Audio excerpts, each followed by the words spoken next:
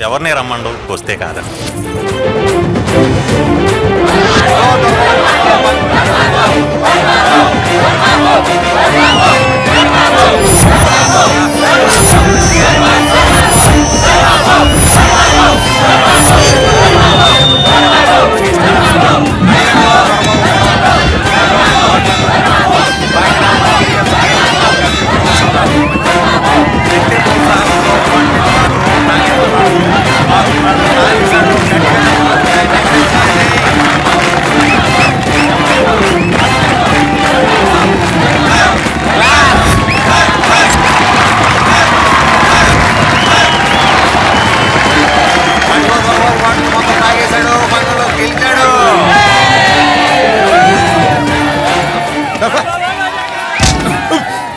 కోరిక అందరికీ ఉంటదిరా.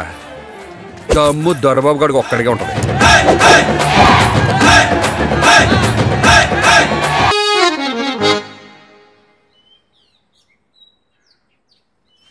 గుమస్తా గారు నాతో ఏదో మాట్లాడాలన్నారు. అవునమ్మా కళాశాల పేరు పెట్టి బాబుగారి లెక్కలు చూస్తుంటే చొక్కలు కనిపిస్తున్నాయి. కొబ్బరి తోటలో కాయలు దించామండి డబ్బులు లేవు. ధాన్యం మిల్లుకు దోలాం డబ్బులు రాలేదు. అరటి తోటలో గెలలు లేవు. చేతిలో దమ్మిడి లేదు. ఏంటండి అది? అసలు రాలేదు రాలేదు అంటే ఆవిడ ఏమనుకుంటుంది? మమ్మల్ని బయటగా అనుకోదు? అసలు ఎందుకు రాలేదు? అంటే. అక్క అసలు అల్లుడు ఎవరు? పుట్టినోడు. ఆ రోజుల్లో రాజులు పాతికలాడేవారు. మరి మనోడు?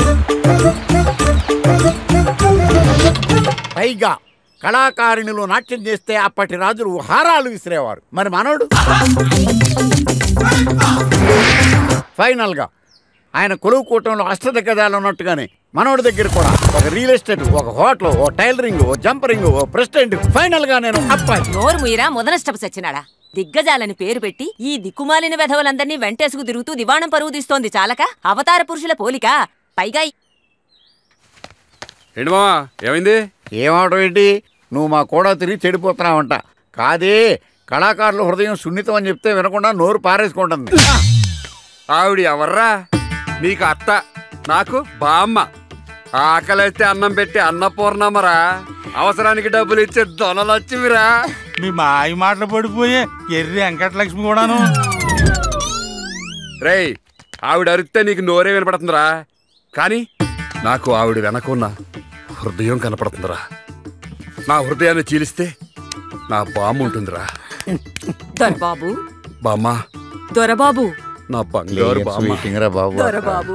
ఆ, బామ్మ ఆ, నేను బయటికి వెళ్ళి వస్తాను ఆ, ఆ, వట్టి చేతులతో ఎలా వెళతావురా ఆ. ఉండి ఇప్పుడే వస్తాను. చూసావరా? మా బామ్మే ధనలక్ష రూపాయలు మళ్ళీ ఆవిడ పుట్టింది వెళ్ళిపోయి చాలాసేపు అయింది ఆ, ఒరేయ్ ఈ మధ్య నీకు బాగా ఫిట్టింగ్లు ఎక్కువైపోయినారు? తోల్చి ఇందా నాన్న? వెళ్ళి త్వరగా రా. వెళ్ళిరా. చెప్పానరా? మా బామ్మ. అయిపోయింది పొగడక్కలేదు పద. వస్తాను బామ్మ. వెళ్ళిరా నాన్న. రే నీకుందరోయ్. శ్రీరాములు లాంటోడు ఎలా బతుకుతాడో ఒరే లింగం తొందరగా ముక్కేస్తావు. ఏదో ప్యాక్ ఏదో ప్యాక్ అని మదర్ ఫాదర్ లేరు. లైఫ్ ఉంటే జోకర్ ఉండదు జోకర్ ఉంటే లైఫ్ ఉండదు. ట్రాపేస్ దొరబాబు దొరబాబు. ఈడేంట్రా? క్రాప్ వేసిన కోడిలాగా ఉన్న కదా కొత్తగా ప్రెసిడెంట్ అయ్యాడు కదా. ఏంటిది? దిస్ ఈస్ గేమ్ యార్ ఊళ్ళో జనాల్ని డిస్టర్బ్ చేస్తున్నారని కంప్లైంట్స్ వస్తున్నాయి. కంప్లైంట్స్ రాత్రి తోటలో భోగం మేళం పెట్టారంట. అది మన వృత్తి కదా. తప్పే ఉంది. తప్పని నేనన్నానా? మరి? నాకు తెలియకుండా ఎందుకు పెట్టారు అని అడుగుతున్నా. ఇన్నాళ్ళ మన ఫ్రెండ్షిప్కి మీరిచ్చే వాల్యుయేషన్ ఇదేనా అని అడుగుతున్నా. ఏమండే? ఏమంటారు? నువ్వు ఎదవని తెలుసు కానీ మరీ ఇంత ఎదవని తెలియదురా. పదండ్రా. ఒరే ప్రెసిడెంట్. మా కొళాయిలో నీళ్ళు రావటం లేదురా. పేకలో జోకర్ రావట్లేదురా. నిన్ను ప్రెసిడెంట్ చేసిన మీరే కదా. ఇదిగో దొరబాబు పంచాయతీలో ఫండ్స్ లేవురా ఆ గుడికి ఎల్ల సంగతి చూడరా. పైగా మీ పెద్దలు కట్టించింది పుణ్యకార్యం కూడాను. కార్యానికైతే ఇంపార్టెన్స్ ఇస్తాను కానీ ఇలాంటి కార్యానికి కాదు. నా జీవితం అంతా కళాపోషణకి అంకితం ఇచ్చాను రా మందు కావాలంటే చెప్పండి ముందు పెడతా. పేకాడతానంటే చెప్పండి పెట్టుబడి పెడతా.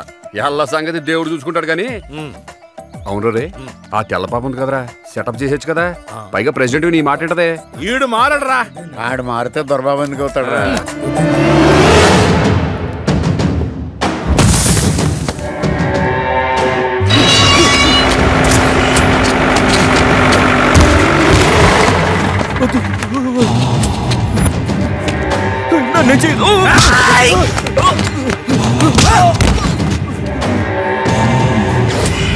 పెద్దయ్య మీద కేసు పెట్టిన సర్వే ఆఫీసర్ ఈడా అన్న.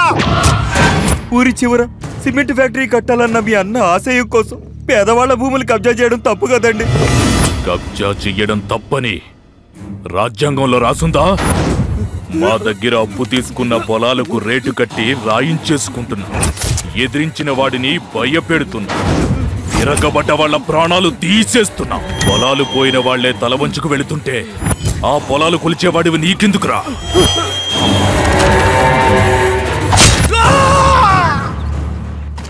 దొరబాబు. ఆ, పెళ్ళికి వెళ్ళాలిరా వెళ్ళిరా నేను కాదు ఆ. నువ్వు. నేనా? ఆ మన కుటుంబానికి ఎంతో నమ్మకంగా పనిచేసిన చంద్రం గారి కూతురు పెళ్ళిరా నువ్వు వెళితే చాలా సంతోషిస్తాడు. ఈయన అక్కడికి వెళ్ళకపోతే ప్లేయర్స్ బాధపడతారు. మీరా ఎదవ సచ్చినోడా. పెద్ద మనిషిలా వెళ్ళి చక్కగా పెళ్ళి చేయించి దొరబాబులా తిరిగి రావాలి. అయ్యి బాబాయ్ బామ్మగారు పెద్ద పెద్ద డైలాగులు వాడుతున్నారండి సర్లే వెళ్తానులే బామ్మా. వెళ్తావు కదా? నా బంగారు తండ్రి. రే నీళ్ళు పోయి. పనులు ఉన్నాయి లోపల. వదిలేస్తారండి. దేవుడు ఊరేగింపుకి. భక్తులు లేకపోతే ఎలారా? దొరబాబు ఆ. రాగానే పువ్వు ఇచ్చేస్తున్నాడు ఈ పువ్వు ఆ పువ్వు కాదు దీని అర్థం వేరు. ఓ. ఏ పువ్వు అయినా పువ్వు పువ్వే. నమస్కారం అండి. నమస్కారం అండి. నమస్కారం అండి. మా బామ్మ మీకు ఇవ్వమందండి. చాలా సంతోషం. రే శివరాం. అనే దొరబాబు గారు దగ్గరుండి చూసుకోవాలి. ఆ. నేను పెళ్ళి కొడుకునా గంగిరెత్తున? అలంకరించి లోపల కూర్చోబెడితే దాని అర్థం ఏంటి? కనీసం కూల్ డ్రింక్ కూడా తాగినవరా మంచి మంచినీళ్ళు కూడా తాగనివ్వను తాళి కట్టేదాకా పందిరి కూడా దాటినేవను పందిరి ఎవడ దాడతా అన్నాడు? ఏదో మొదలు కూర్చుని గుద్దేస్తాను? తోలు వచ్చేస్తాను రే? జాగ్రత్త ఆ. పెళ్ళి కొడుకు గారు వీరు మా ఊరి పెద్ద మనిషి దొరబాబు గారు నమస్కారం సార్. నా పేరు సూర్యబాబు నమస్కారం.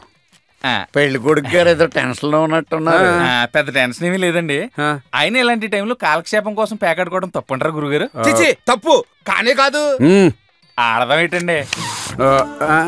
ప్రెసిడెంట్ గారే చెప్పొచ్చేది ఏమిటంటే పెళ్ళిలో తాళెంత ముఖ్యమో పందిట్లో పేకాడంత ముఖ్యమో రా అబ్బాయి. పైగా అది మన ఆచారం కూడాను. ఆ, డబ్బులు ఎంత ఉన్నాయి? మా అత్తరు ఇచ్చిన కట్నం మొత్తం ఉందండి. ఆడుదాం. జోకర్ పడింది కానీ సీక్వెన్స్ లేకపోతే ఉపకారం ఉండదు గురుగారు మొగుడు ఉండి ఉపయోగం లేనట్లు లెక్క. కదా?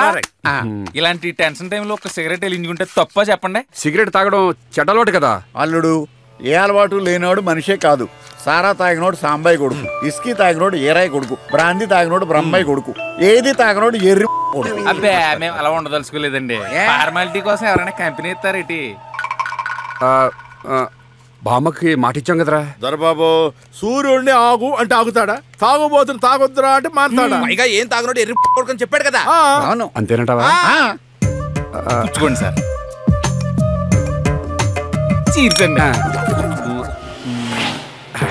ఇంకోటేరా?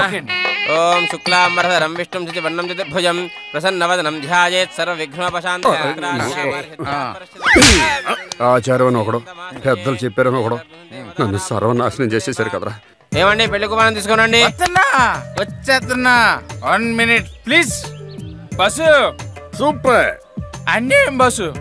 ఈ పెగ్గ ఉన్నా కూడా ముందే పోయింది నది అబద్ధం చెప్తారా?